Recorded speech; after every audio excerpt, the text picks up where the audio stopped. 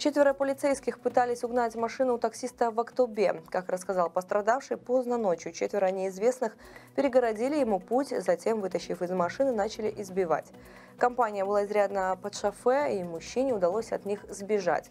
Злоумышленники же, завладев чужим автомобилем, скрылись на нем с места преступления. Позже их задержали. Оказалось, что нападавшие сотрудники правоохранительных органов. По информации пресс-службы Департамента полиции Актюбинской области, все четверо сразу же уволены из органов. В отношении них ведется расследование по статье «Грабеж». Между тем, в полицейском ведомстве заявили о том, что после случившегося инцидента усилится чистка собственных рядов.